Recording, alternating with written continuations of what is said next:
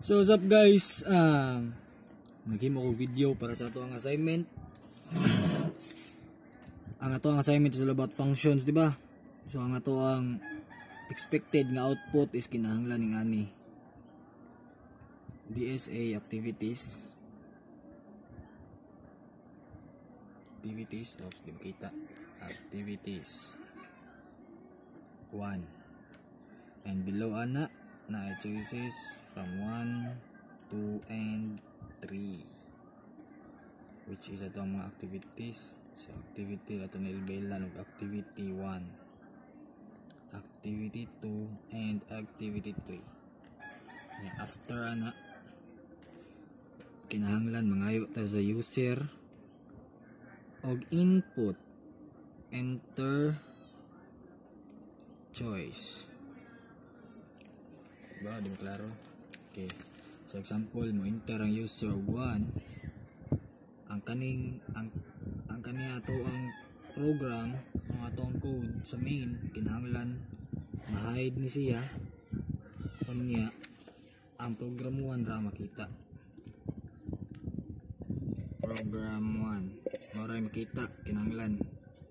So karon ako ipakita ninyo og giunsa na ko pagkuha ang code. Um, tanaw lang mo hantod mahuman so here guys ah magsugod na ta sa ato ang program. Sa assignment I mean. Sugod na tag code.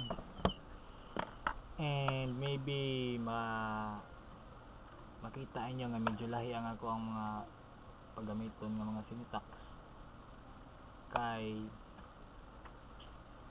kani siya is Visual Studio. Muna siya ako gamit Visual Studio. Namoy mga gamay nga makitaan nga medyo lahi pero ay mo kabalaka na kay sabotable ra na siya. So ano siya? So before ta magsugod, let's add a new file. New item. This, this, this and name it anything you want. Like it's fruit. Fruits one. One one. That's C because that's C ang ato ang gamiton karon nga language. C programming so based sa inyohang mga nakita ah uh, So So base ani ato ang um, kinahanglan nga output. We need to output this this this this this. This is 1 2 3 4 5 5 print F. Then print F. So get back. Let's get back to the code So, kani siya. Siyempre, magsugod ta sa include. Include uh, stdio then include I'm gonna use conyo kay ang ato ang compiler dili mo basa o getch getch dili siya kabasa o getch and clear screen so I'm gonna include that. And define some things. So I'm gonna define. Define get define get and get okay. And define. Define. Uh, clear screen. Wait clear screen and system CLS alam mo kabalaka maayo ani guys. Pwede rin ninyo siya baliwalaon. Kuara na siya kanang para rin siya sa sa ako ang compiler. Don't mind this. Don't mind this. Okay so magsugod na ta sa to ang mga function. So mo ni ang ato ang function. This is functions function declaration. Okay? So ang reason nga nung void ang ako ang gipili ani niya? Kay ang ato ang function mong dili mangayo og um, dili mangayo og data sa main nga program. So function void. Void yun siya kay dili man ta mangayo og input from the user gikan sa ato ang main function. So first off gonna the choice. And of course hanglan nga if ang user mo enter og invalid na input example di ba 1 2 og 3 ra pilianan. Pero if ang user mo enter og 4 so di ba mo magkuan ta na in, magprint na nga invalid input. Valid input. So ato ang buhaton na na. Moingon ta invalid input ay nya mo ask tag balik kung ganahan ba sila mo balik sa menu or mo exit go to menu or exit. Yes or no. Okay. So na ako ipon no? Kani. Where sa in choice ato na siya butangan og lain option which is ang car okay car option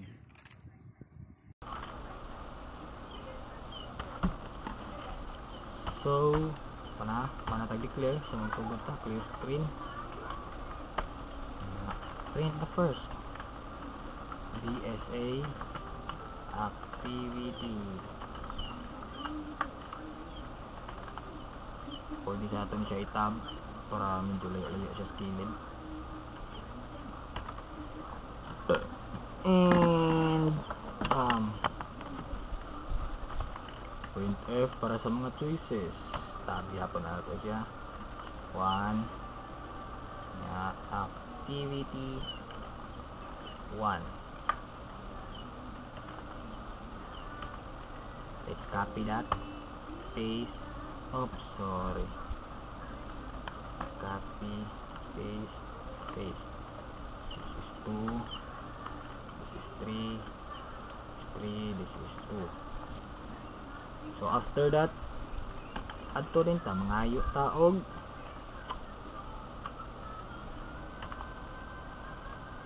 mangayo ta og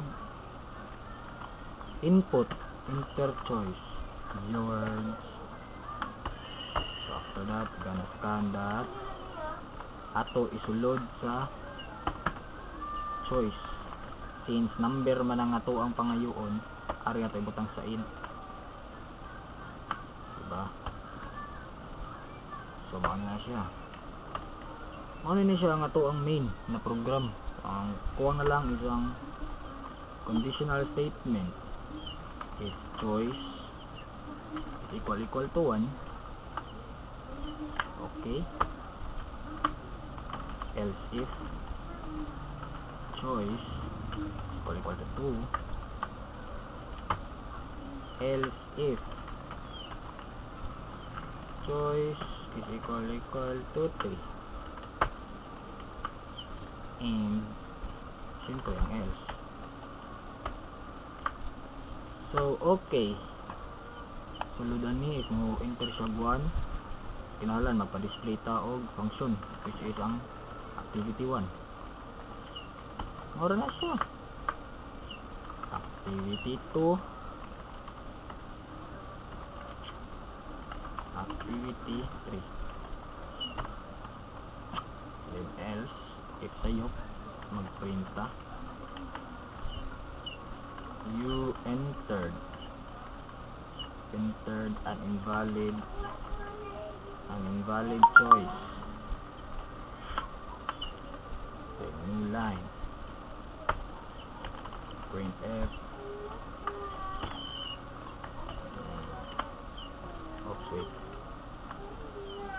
Uh, ah, would you like to go back to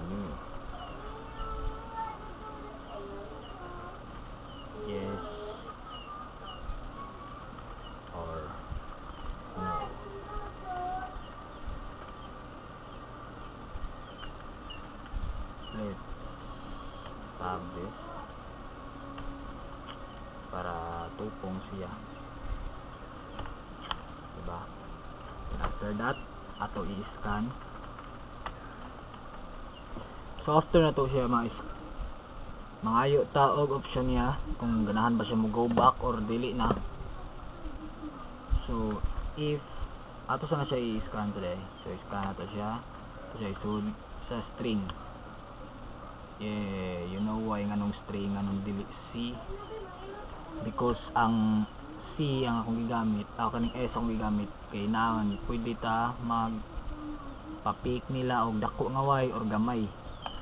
Kay kung C ang ato ang gamiton, single character man gud siya niya kung mag click ra ba ta o mag type ta og big letters, di ba mag combo ta sa keyboard which is shift og Y or caps lock og Y.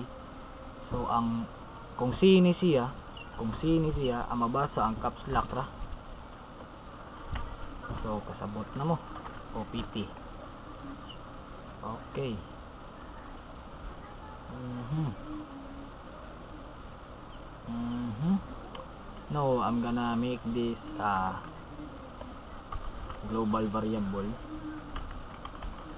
Global.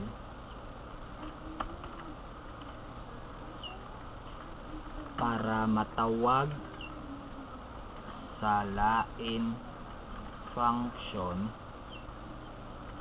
o para dili magbalik-balik declare. Okay, sabot na mo oh. After that, manata siya magtugod na ta sa tuang statement if the choice is equal equal to y or OPT is equal to. Small y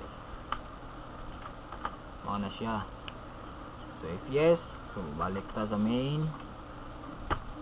That's it ra mao na else exit the program. Uya exit so okay man na nga to ang main. That's all we need I guess. So magsugod na tag trabaho sa ato ang functions. And this is a function declaration. So in here definition na. Activity.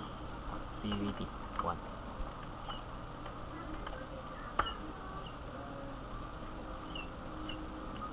so I'm gonna copy. Ato kapihon ang ang program nga gi ko ani sir. Okay. So based sa ato ang itong activities na to we're gonna declare end n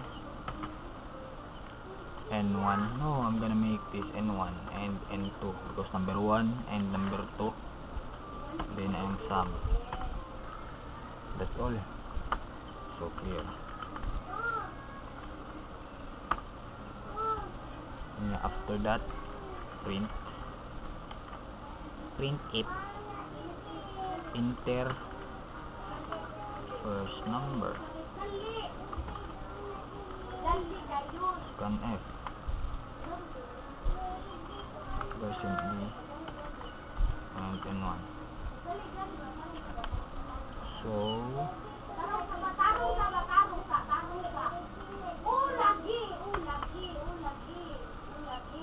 Sabak je be. Gilamik ni mo je be.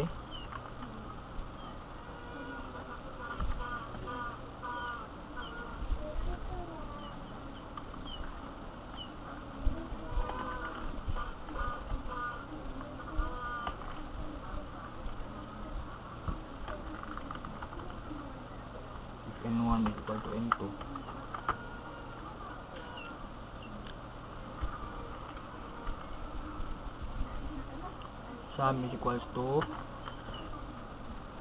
n1 plus n2 times 3 Mara ba then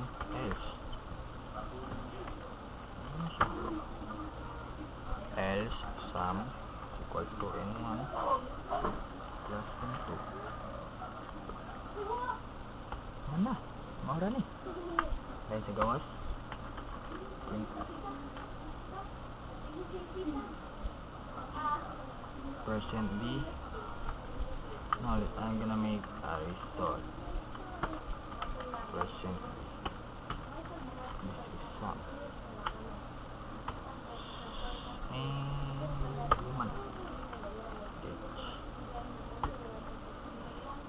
Nya, balik ka pangutana. Would you like to go back to the menu?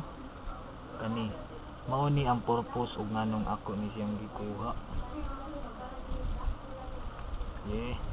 You you you get my point bro. Yeah yeah in here dili ta matuwa na bunch of ano lang. So that's it guys. So let's try muna to put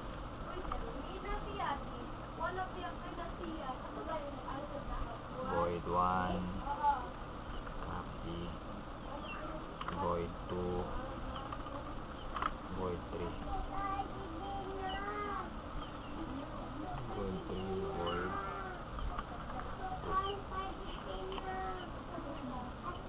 solid 3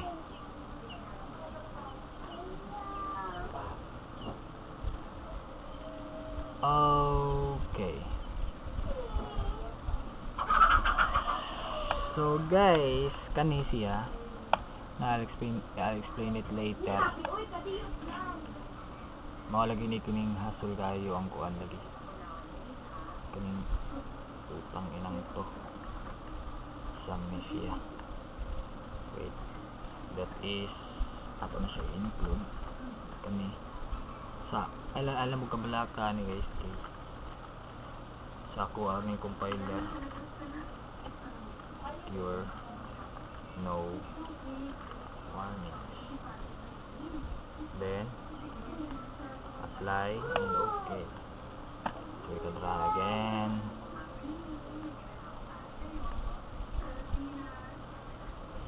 and and and and okay. So interactivity example 1 okay so start 5 3 result 8 would you like to continue? Would you like to go back to menu yes. Diba? Na if mo enter ka wrong oops you enter an invalid choice. Would you like to go back to the menu yes or no? No. Exit the program. Yung ana lang siya kadali guys so wait muna ato na siyang tarungon ah the activity 2 Smoke weed every day.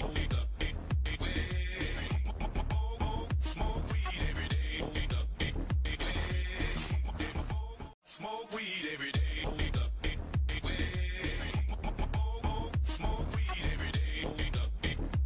Smoke weed every day.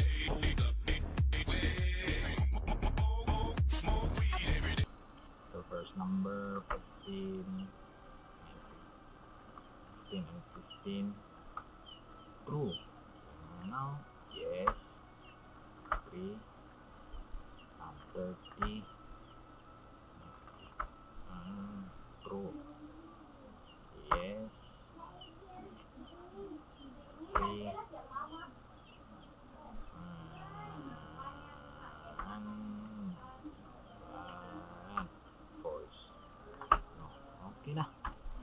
that's it.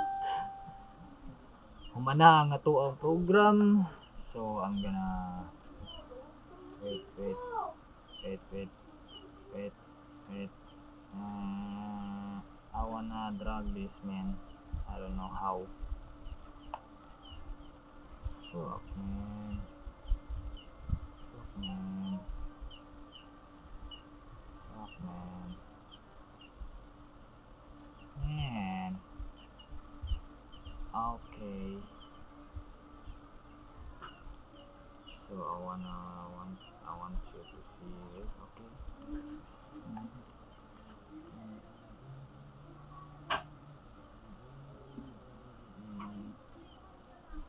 So I hope nakasabot ra mo mga part.